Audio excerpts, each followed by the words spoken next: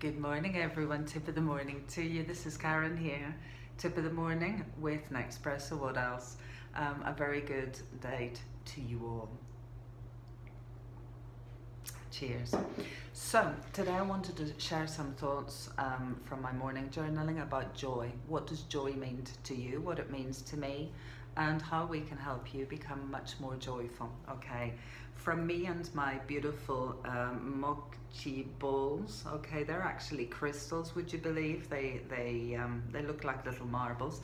In another video, I'll be sharing um, a little bit more about them in a bit um, and about all of the new crystal babies that um, I've connected to when I was in Paris coaching and training last week. So that'll be exciting. And the new thing, okay, so keep posted will be I'll be talking um, about uh, I'll be doing some guided meditation with crystals uh, for different aspects of how to heal certain areas in our life and in our, in our business okay?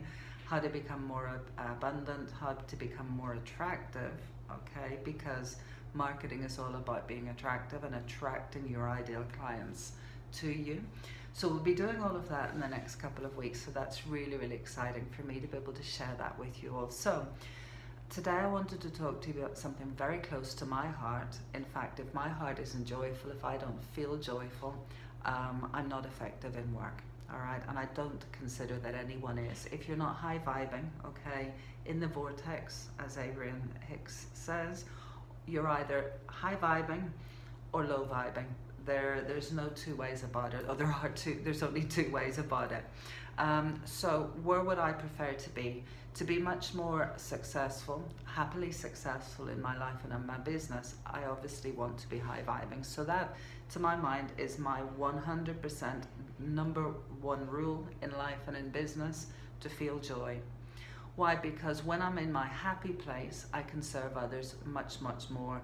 Um, when I'm working in my zone or area of unique brilliance, I can serve people much, much more. I can serve love. I can serve with love because I'm feeling great and therefore I can really, really, truly, joyfully serve and share from the heart. So the key in, in this is connecting to our feelings. Before I start any big, big task uh, uh, of any type of importance as I go through my work day, um, whatever I've got programmed, I will always connect to how do I feel. I will always ask myself, Karen, how do you feel? Do you feel great. And I'll scale it from a 1 to 10. It's a little bit like, like the, the tapping of EFT, okay, that technique that you say, how do you feel? Um, if you can't even feel the, or define, because it's not that important to define if you're angry, if you're hurt, if you're depressed or whatever, how do you feel? Do you feel great? On a scale of 1 to 10, if you feel shitty, it's number number one, that, that area. If you feel fab orgasmic, it's number 10, all right? So our job, our total responsibility, either as a worker, as a manager, as a business owner, as a professional, whatever we do, whoever we are, we can only express our best when we're working high vibing, when we're working with joy. Um, so I always teach my, one of the first things I teach within any of my coaching programs, I will always go to the quadrant, okay, of unique brilliance. And I will always ask, get people to do this very simple exercise, and it's asking yourself in a, the quadrant, you divide the page into four. Top left hand uh, corner is for uh, the things that you do that make you feel fabulous and that you would do all day long with not even charging for it, with not getting paid, because you're in the flow, you feel joy, you feel fab. The second area uh, to the right of that would be what you're very good at, but that you would definitely need to get paid and you would be tired at five o'clock in the afternoon after a long day, all right? The bottom left hand side quadrant or square is where you're average and we really don't um, get anything done when we're average, all right? And then on the, the bottom right hand corner, it's where we definitely don't want to be working. It's where we absolute, as we say in the north of Ireland, shite at it. We do not want to be doing that particular job or tasks or areas of work. As a lot of people will come back to me and they'll say, but Karen, I've just started my business. I'm a one man or a one woman band. And I will say, it doesn't matter, darling. Outsource, delegate, whatever. Uh, if you are spending more than, if you're spending anything less than 80% of your time in areas that are not in your unique brilliance quadrant, you're, you are FUCK'd in your business. You will definitely be holding your, yourself back, okay?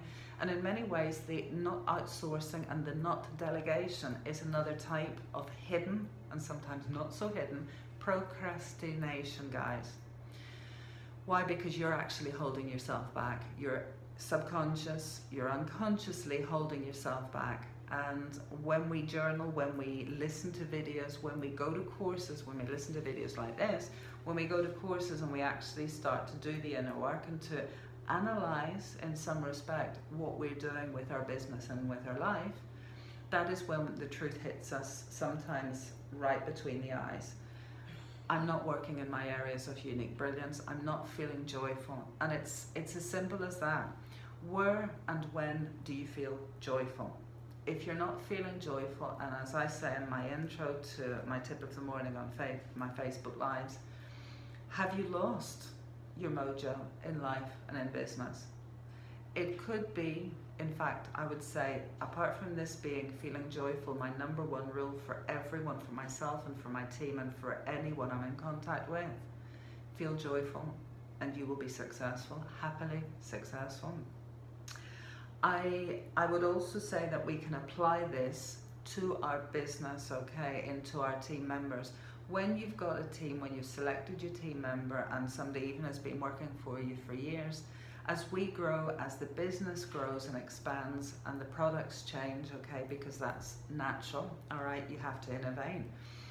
Your team members are also growing and studying and innovating too, as people and as professionals. And if you see that somebody has a, a, a total panache or totally brilliant at one particular thing, it's their gift, it's their God given gift. Why would you not ask them to do more of that particular area? Because, my darling, the best team is apart from having fab communication, apart from having extreme self-respect and respect and clear, clean, healthy boundaries amongst the team members and out, outside to the clients and the people that work with your business.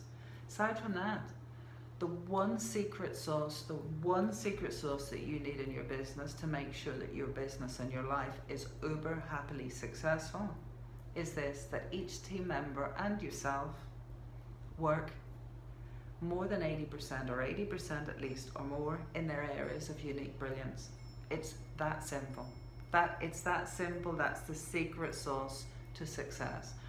So if you do nothing else other than looking for your joy and asking your team members to hold themselves and hold them responsible to feeling joy as they go through their, their day, that you will then guarantee that if they're not feeling joyful, you then start asking them to ask themselves those questions.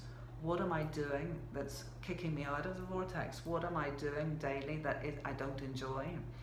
And if you have to take courageous decisions of letting people go, of adding more team members when perhaps your budgeting for team members and wages, etc., is at the max, that is the leap of faith that you perhaps need to, to consider doing. Maybe not today, maybe not tomorrow, but in the very near future for your happy success.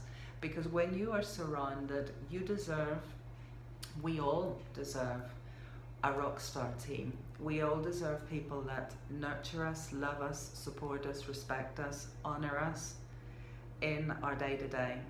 So if you are a business owner, if you're an entrepreneur, uh, and you have a team or you're thinking of building up a team, ensure that you build your team built basically on joyful day to day and based on everyone working within their area of unique brilliance. So that they that know that they are joyful that they look forward to coming to work that they're learning more and more and growing more and more in that particular aspect of, of your business then you will have a beautifully smooth clockwork mechanism within your, your business structure that will produce happy success. When people are happy, they're much more successful. They will produce better work for your clients. Your clients will get more from for, for their money, etc. etc. It's a win-win, a total win-win situation when everyone is joyful when they go through their day. And most times they're joyful because they're doing what they enjoy. They're doing what comes naturally.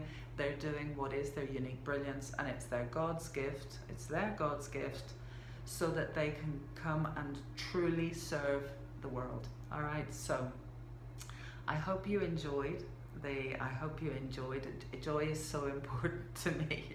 I hope you enjoyed this video. I hope that it's sown at least one or two little seeds of success in your in your interior. That when you soul search and heart search, you know that perhaps you are not working from a point or in a position of joy, and that you, my darling, that is what freedom is all about. God give us freedom of choice. If you're working today, if your business is not bringing you joy, aside from the money, aside from the ripple effect and the impact for your clients, that's important. But the most important is self care.